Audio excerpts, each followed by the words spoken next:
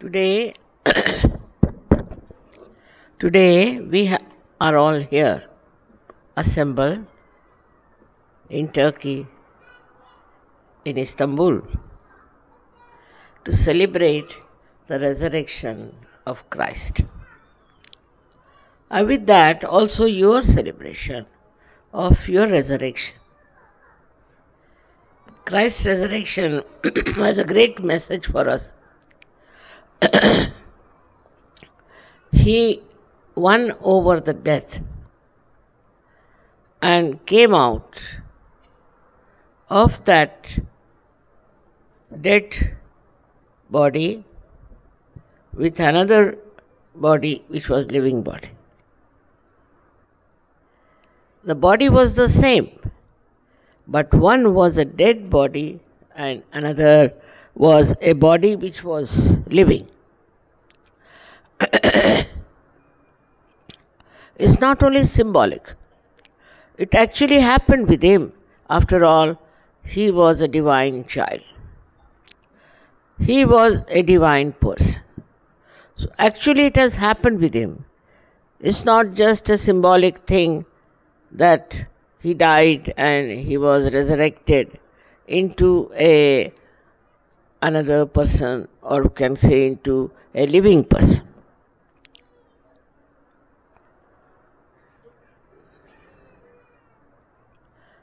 For him what is a death? For eternal beings there are no deaths. There is no death for person who is eternal. He may, for the time being, look as if he is dead, but he can never die. Christ was like that, a very, very special incarnation which came on this earth to be reborn out of the dead. Now, we are also, when we are not yet realized souls, when we are not yet enlightened, we are also dead in the sense our awareness is very, very, I should say, absolutely dull and dead.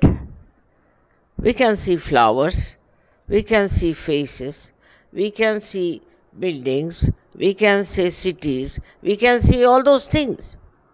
All these things we see and we feel we are quite aware, which we are not. Actual awareness comes to us when we cross the limit of our mind, go beyond the mind, and this was only possible because of the resurrection of Christ. He resurrected himself because he was a divine person. But also, we are resurrected because we are blessed by divinity. Now, this mind of ours, which is in between, is controlled by Sri Jesus Christ. He controls through your agya, both the sides. He controls your conditioning and he controls your ego and brings a balance in you. But when this agya chakra start spindling all kinds of ideas, sometimes reacting, sometimes accepting conditioning. It is a slave. It is not a free thing because it is working under the influence of your ego or your superego. For that is the death of our awareness. That we cannot, we cannot understand something beyond. That there exists a life beyond this, we cannot exist. This is, we have seen now, that we were all, we were all in a condition that one was deadened. We were feeling bad, we were feeling anxious, we were fighting, and we were thinking that there's something wrong with our present life. There's something definitely which makes us slave, which by which we are slavish. That we realized, no doubt, and we started seeking the truth. We started seeking the truth in so many ways. I know so many were also went astray and they lost their balance and have fallen into a complete demise. But so many of you have been salvaged, have been saved by the great example of the Christ's resurrection. He had to venture, he had to do it, and he worked it out. Without him, our Agya would not have been that flexible. As it is, human beings in the olden times were air conditioned very much, and when they have become modern, they are full of ego. Nothing in between. With these two influences, we are imprisoned. we are absolutely dead people. We have no sensitivity for anything. I have seen now, even today, you can see what things are happening across. Is people are very anxious to kill each other. Human beings want to kill human beings. Can you imagine such a stupid thing that we should kill our kith and kin? Then there are children who are killing, parents that are killing. No relationship is accepted. It's a sign of a person who, whose awareness is completely dead. In our awareness, at least, we should have feelings of compassion and love. But that one is lost. It's not there. We don't have it. The whole world is aflame when you read about all the wars that are going on, the way they are killing children, the way they are destroying human beings. It is a wrong attitude that by destruction of human beings, things will improve. It's a very, very wrong concept that by destroying them, one can achieve something.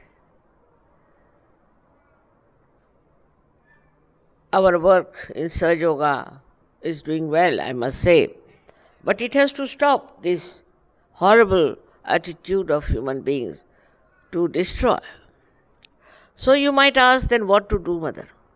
What to do to stop this destruction? Answer is in the life of Christ. You resurrect people, you resurrect them, enlighten them, bring them to a state where they understand what is right and what is wrong. Let them feel, let them feel the compassion and love that is within you. When that starts, that third force within us starts acting, our ego also comes down.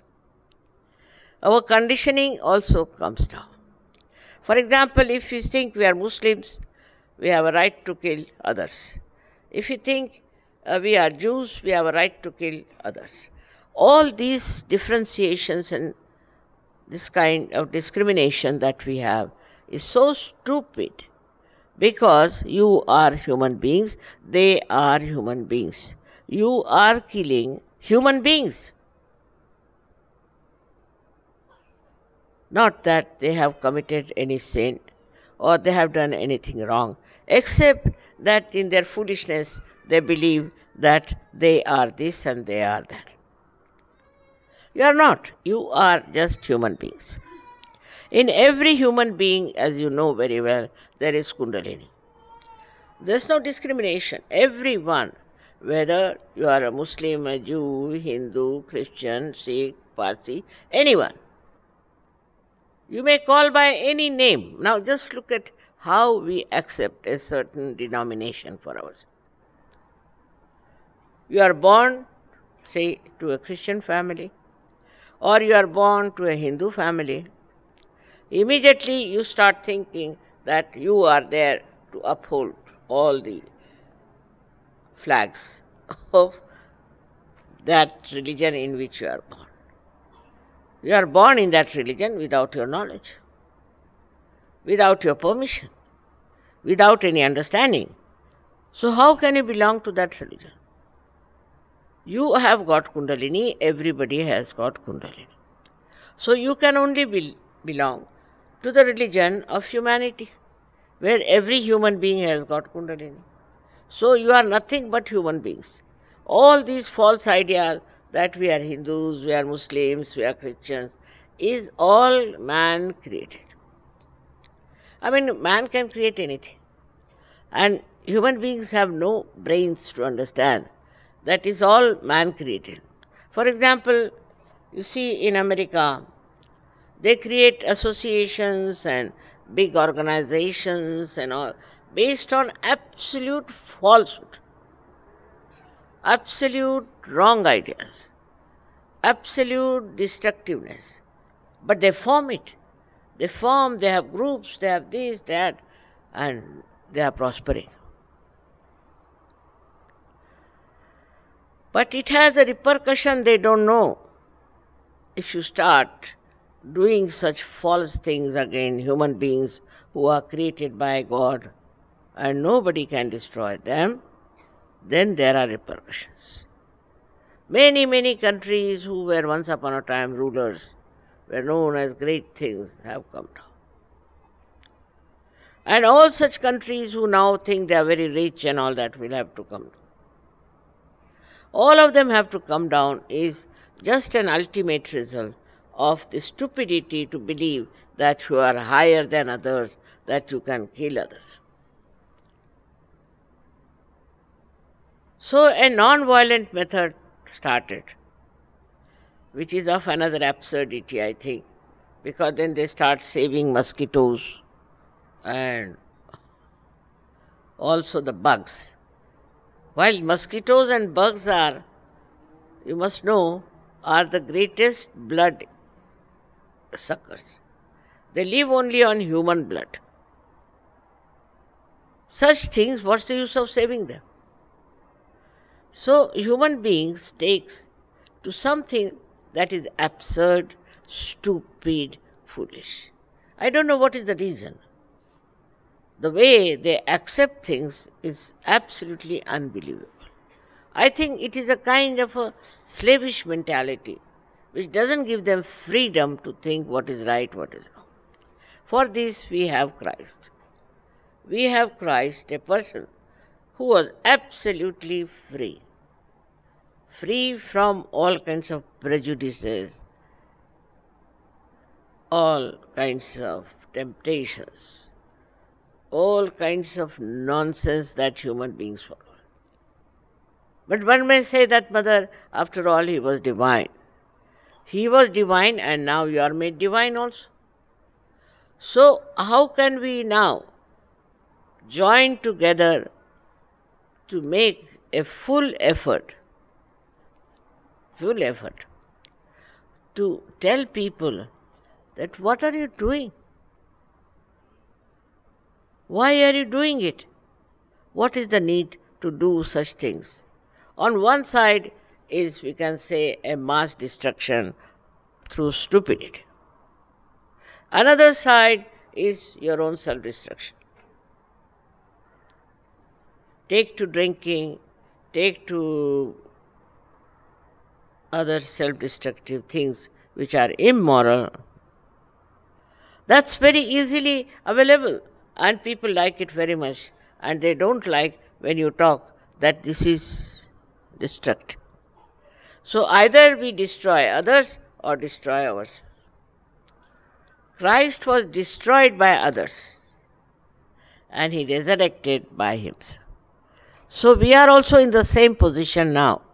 I know many a times Sahaja Yoga was challenged, now it's much better, not so bad. Was challenged and there were so many problems. But now it's smoothing down. Because that's the truth. That's the reality. That's what is divinity. So you should not be afraid. All these funny ideas about Sahaja Yoga also will die out. It's a resurrection not only of you people, but also of our ideologies. Now the ideology is changed that our awareness should be enlightened. We should have light in our awareness. This has come suddenly through Sahaja Yoga to people. That if you don't have the light, how can you go further in the right path? It's not easy to describe Christ's life, how he went through that. He died so young and brutally he was killed. But still, all that, he resurrected himself.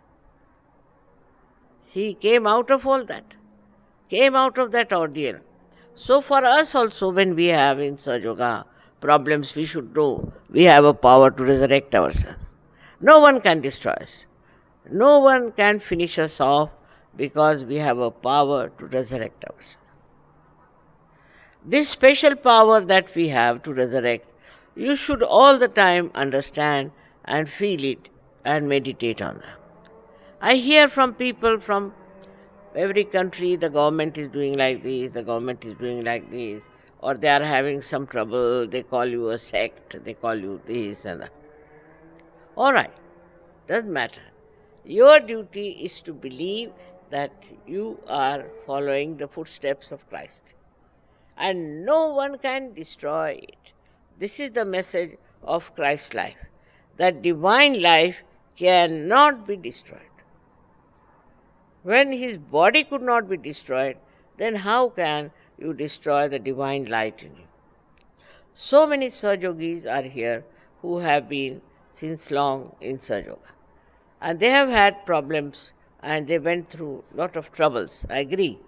But all these things have subsided and now you are in a, such a resurrected position that after some time you will be amazed Sahaja Yoga will take over all over the world. All over the world, people will take to Sahaja and we'll have such a lot of Sahajogis all over the world that all this minority of some stupid people will disappear. For that, what have you to do? Sometimes people ask me, what do we have to do? You must have also read in the Bible that Christ prayed and he was praying. In the same way, we can say we have to meditate. Through meditation, we'll grow in our awareness, in our new personality, in our strengthened personality. Meditation is the only way we can grow, and then no one can destroy you because you are all protected by the divine love. You don't have to worry as to who will destroy you, what will happen. Of course, in the beginning, there's little agitation, people feel little bad about it, it's all right. But actually, no one can destroy you. Have this faith in. Christ had no organization, he had no Adi Shakti to support him. In no way, but only through his divine personality, he managed to get out of all the problems, of all the tortures, of all the atrocities on him. So now you have better advantage because you are enlightened. Firstly, he was a divine person and he could go through all that. You don't have to. Nobody will torture you, nobody will put you in jail, nobody will crucify. Nobody will. That's not possible. But mentally, if you are upset, sometimes you get upset, I know. In certain countries, people get upset because they think they are oppressed because they are in such a I assure you, no one can do that. You must know that you are all the time protected. Christ is there as your eldest brother, I always said that. But also, you have your mother, and you have all the ganas and all the angels around you. When I see this, I just thought, look at this. In every country, they have shown angels and ganas are there. Such pure forms of protection you have. So there's nothing to worry about your destruction or your impediments or whatever you may call it, a kind of a destructive uh, forces acting on you. From the life of Christ, we have to know that no one can destroy a realized soul in these modern times. As it is, they never destroyed. We had so many saints, you know, who were killed, who were tortured. But see, they still exist as poetry, as poems, also as their blessings everywhere. They are not finished. They are not dead, though it seems that they are no more. But even to take their names and to even to call them, they work out. They are there in their spirit and they help. Assured by Christ's life, by his resurrection, we are resurrected people. Of course, our body also has changed. After resurrection, you know that your chakras work out, all the curing and all the blessings. Our attitude, our mental attitude also changes, and also our ego subsides. Not only that, also our conditionings go out. Especially, I was so happy that those people say who are born in a particular religion immediately see what's wrong with that religion. As if they turn round and see the image of their society and know what's wrong with them. And when they start meditating on those corrections, it works. Societies are improving. You see, so called religious ideas are falling into their own traps, and they will all fall because there's falsehood. That's not real religion. The religion is within ourselves. And this pure religion is the one which is a global religion. The solution comes like this that supposing you have wars.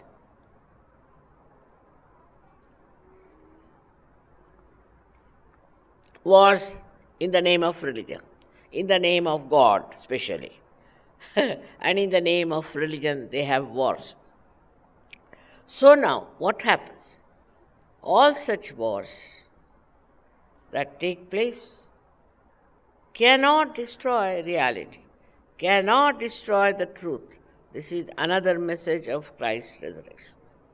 You cannot. You may think that today you have destroyed these people, but they are there. All the saints, all the great people who have been resurrected in life are all the time there. Their protections are there their guidance is there. You can see them in a way that they are there.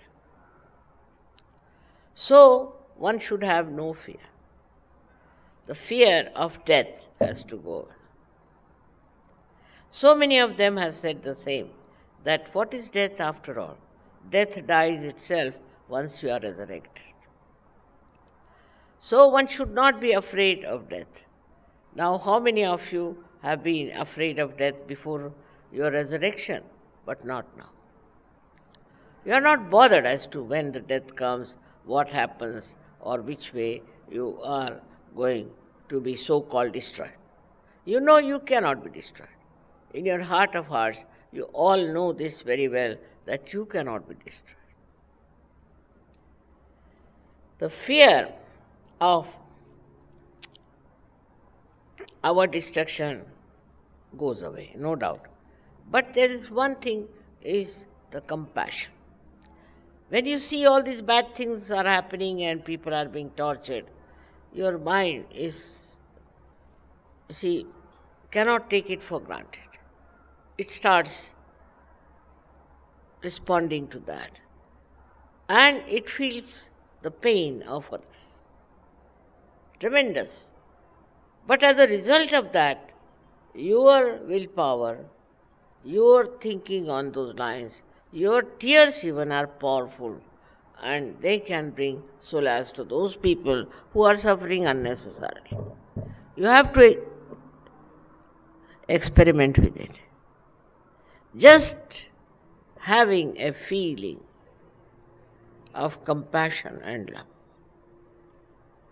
things will improve. Now, as it is, we meditate. But we can meditate also with such compassion and such love that your tears can also have an effect on these people who are so cruel and stupid and killing each other. But it is important for you to know that now you are not an individual, but you have become a global personality, a global personality. You are not an individual, you are a global personality. And sitting down here, you are working out all the global problems. You are not a small person now who's only worried about your own children, about your family, about this and that. No. This mind of yours has expanded. Expanded like this that it works automatically for all the problems of the world. When I, for a woman, I read newspapers, especially women seldom read newspapers. They think it's stupidity to read newspapers. But I read. I read and I read those where my attention is needed. I've seen it works. But all of you put two together, if you understand that it is your responsibility to correct all the destructive forces, to put them right, you just have to collectively meditate on the points where you find there's a big problem. Now, the problem mainly is because of religions, mainly. Now, if they can all jump into the new religion, global religion, they all are one. They cannot then fight because there's one religion, but they don't want to have one religion because they want to fight. They're fighting cocks. But if they come to search, if they become enlightened, then they will only enjoy love of each other and not killing of each other, destruction of others. And this is what we have to learn from life of Christ, who was alone, who was single. He didn't have such a collective behind it. But how powerful he was that he fought the death and came out of it so clearly at the stage of Agya. Without him, we could not have worked out Sahaja. Kundalini would not have gone through unless and until he had sacrificed his life. And he readily sacrificed. He uh, accepted the task of sacrificing his life and then resurrecting. He passed through that, I should say, a very constricted channel of Agya to put you people right by saying you forgive everyone. If forgiving was such a powerful thing that you can even fight your death, then why not forgive? Many people say, Mother, we can't forgive. And I've told hundred times that what are you doing if not forgiving? So the message of Christ's life is that he forgot, forgave all the people who troubled him. Even he said that, oh God, please forgive them because they don't know what they are doing. On the cross, he says those things. When he was tortured, insulted, he says what? Forgive them. Have pity. Have sympathy for them. Because they don't know what they are doing. They are killing the Son of God, and what will happen to them? Where will they go? What will be their situation? This one is a big message for us that even on the cross he said, Forgive. O God, O Father, forgive them. In the same way, we have to also forgive people. It's very important from the life of Christ that we have to forgive. His forgiveness was of the greatest uh, importance for the world to understand you must forgive. If we learn how to forgive, you will be amazed, half of the wars of this world will be finished. Now, something happened thousands of years back, still people are fighting. Still they are fighting, thinking this thing happened so many years back, so they are our enemy.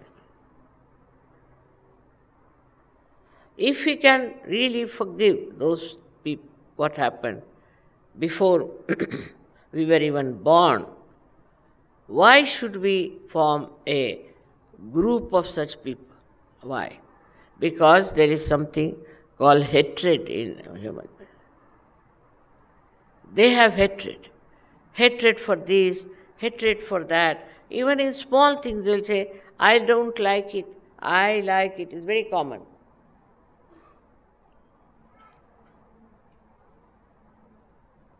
Nowadays, especially. when we were young, we were not supposed to say such a thing. I don't like it, I like it. We are not supposed to say. But nowadays, freedom has given them to talk like this I don't like it, I don't like that, I don't like that, I don't like that person. Who are you? What do you think of yourself to judge others? You don't know how to appreciate, you don't know how to enjoy, and only what you go on saying, I don't like it. And supposing you like it, what will you do? Whether you like it or don't like, it's just the same. But just to show off their ego, we say, I don't like this way, I don't like.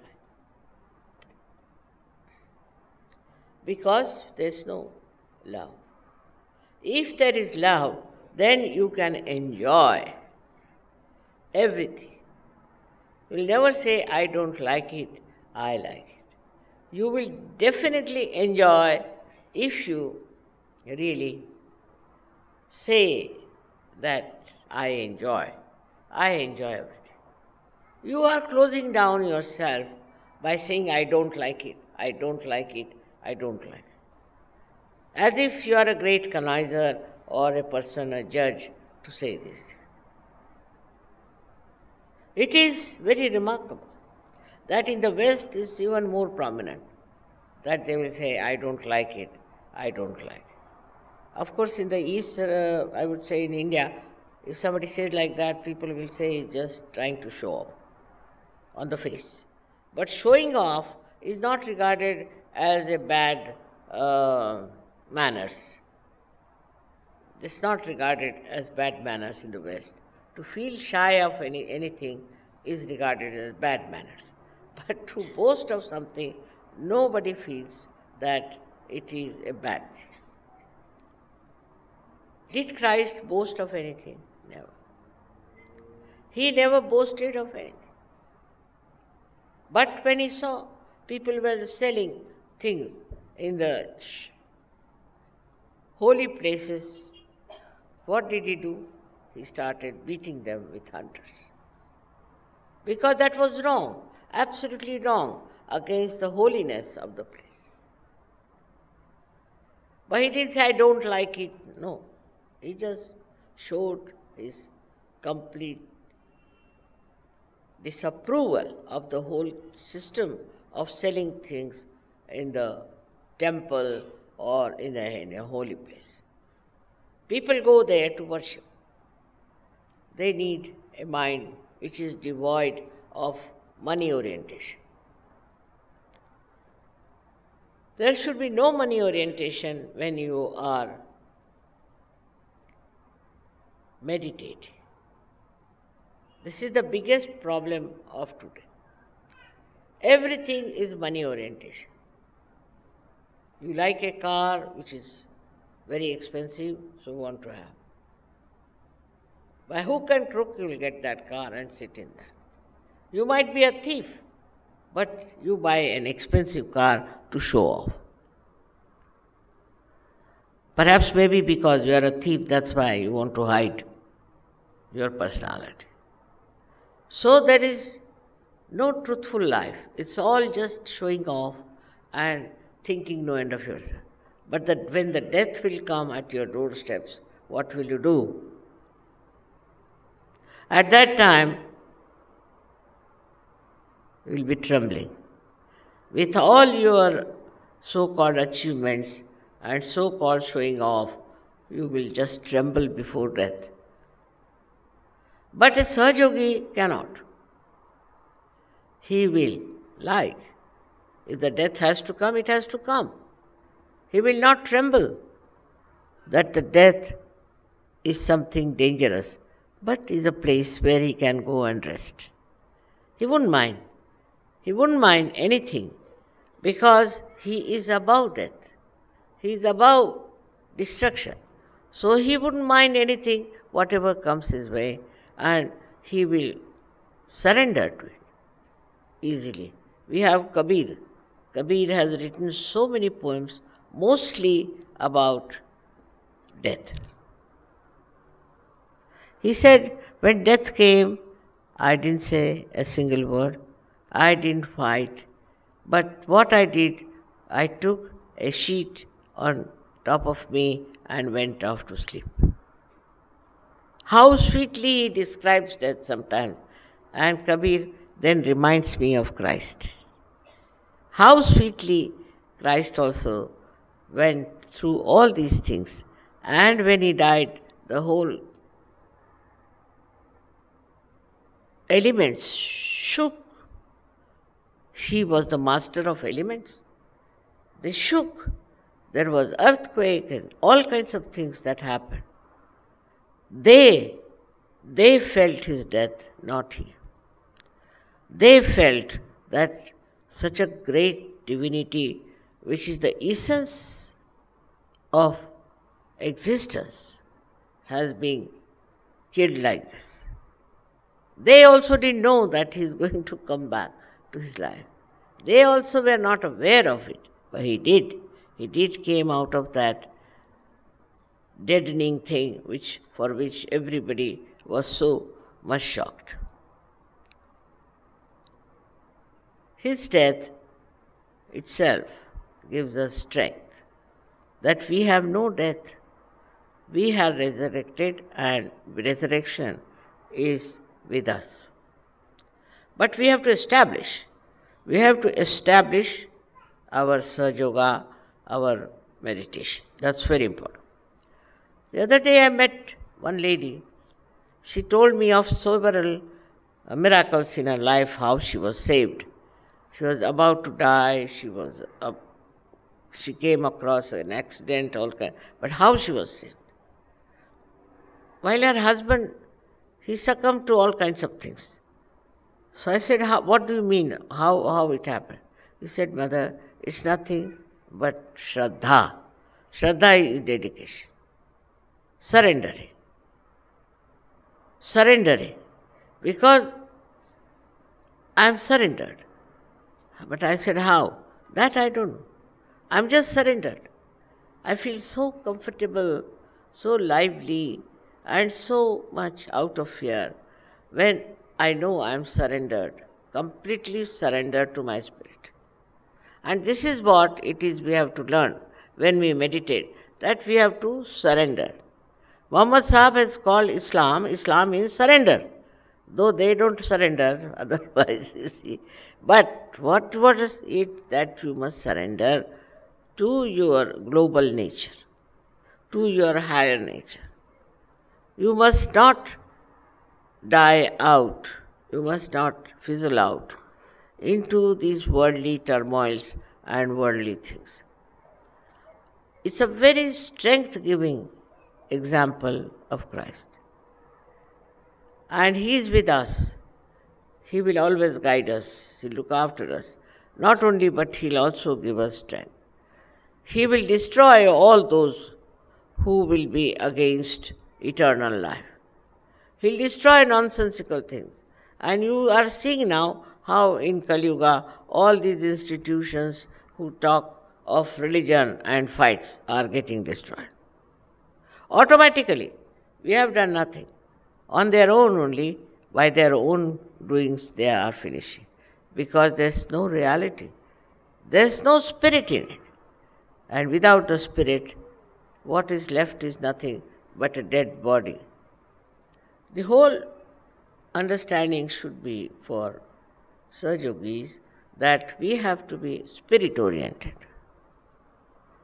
not money oriented, body oriented, uh, emotion oriented, but spirit oriented, which is a joy giving thing.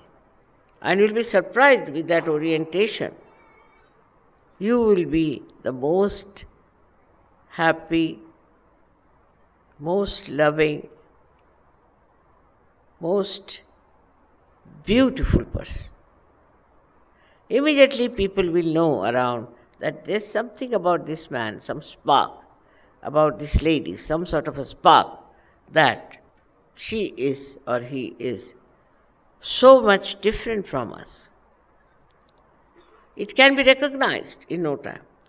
Now, at the time of Christ, very few people could recognize because they were not enlightened, because they are very much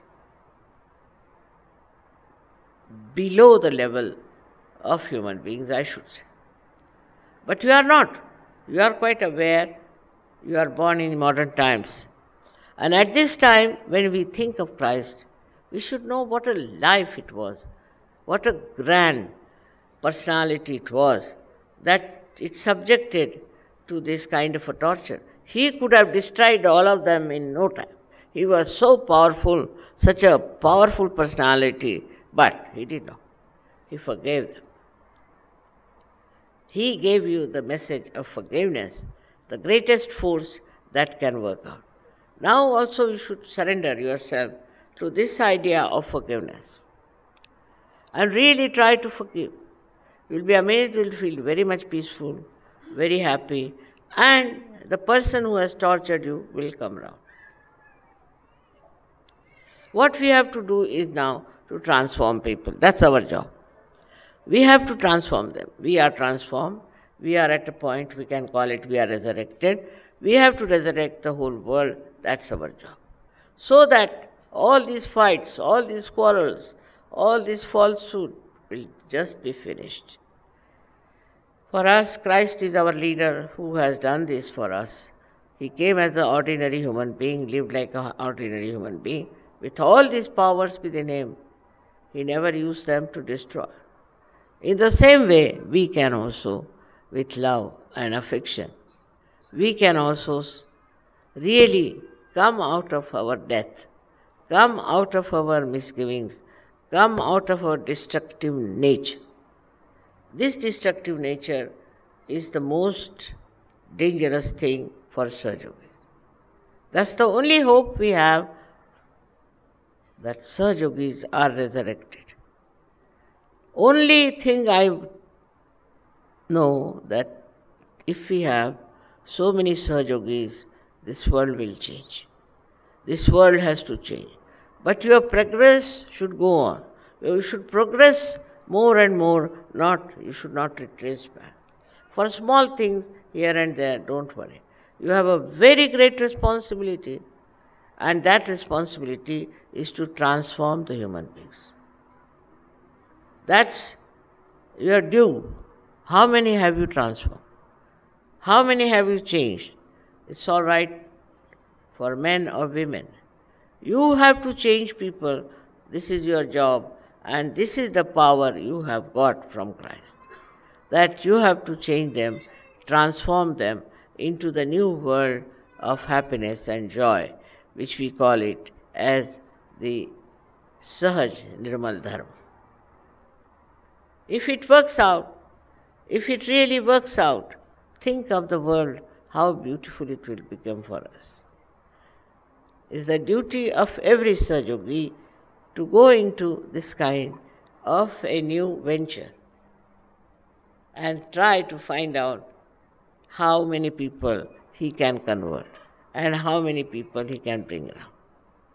I hope next time we'll have double the number of people that are here from all these eight countries who are hosting now. All my love to you all. Great days are waiting us. We have to now understand only our responsibility. Main thing is how many people we have converted, how many people we have resurrected. That is the record, not what how many pujas you have attended and all that. It's not so important. Pujas are just to give you strength and to give you power, but they are not your work. That's not your work. For your work, you can take from pujas all the strength that you need, but if you don't use this power, then what's the use? So now I leave it to you to remember that you are resurrected and you have to resurrect others. is a very, very important job at this time of complete turmoil and destruction. May God bless you.